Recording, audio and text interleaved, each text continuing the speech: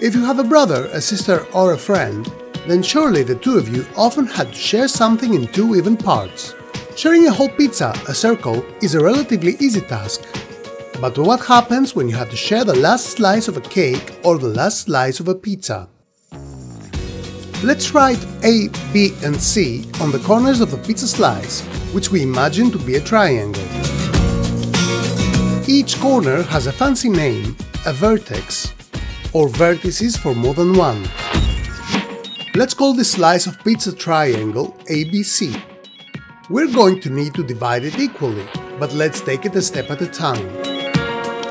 Let's draw a line from A to the middle of the opposite side D, creating the line AD. We call the line AD a median and define it as a line segment from one vertex of a triangle to the midpoint of the opposite side, bisecting it. By the definition we can understand that since we have three vertices in a triangle, there are also three medians in every triangle. So we can draw a line from C to the middle of the opposite side, AB, creating the median CE. And lastly, we draw a line from B to the middle of the opposite side, AC, creating the median BF. Since every new point DEF is the midpoint, we've each time made two equal line segments of an original segment, side of the triangle ABC. Each time we have two triangles, but are they equal? Or is there going to be a fight for the bigger slice? Let's prove it. We know that the area of a triangle equals half the base multiplied by the altitude.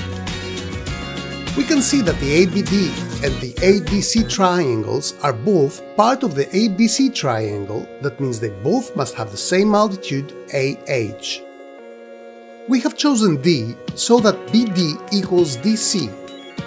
That means that the area of the triangle ABD equals and the area of the triangle ADC equals they are equal.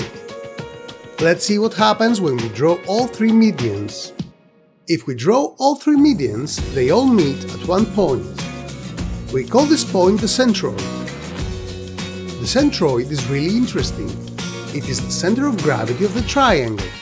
What is more, it cuts each median in two segments and the longer is twice the shorter.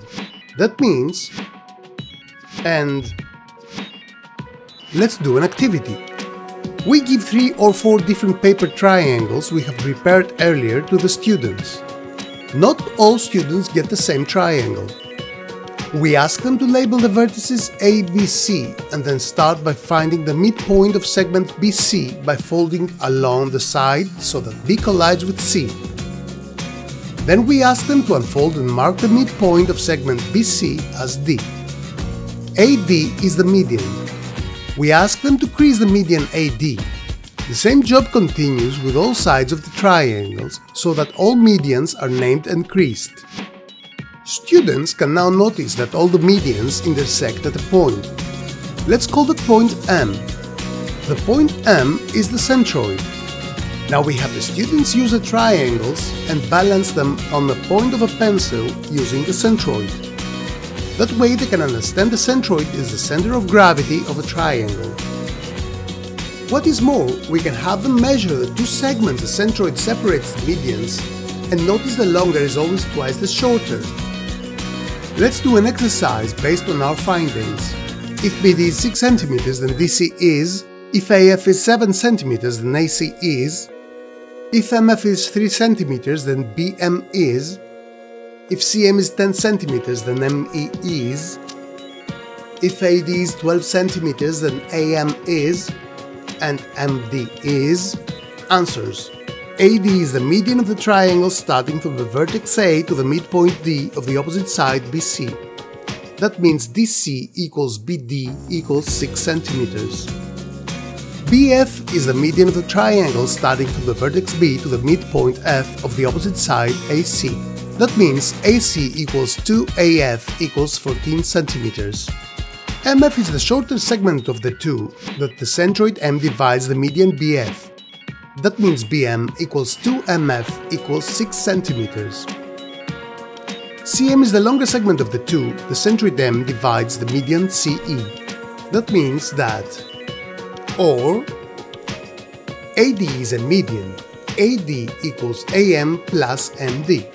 But AM equals 2MD. That means that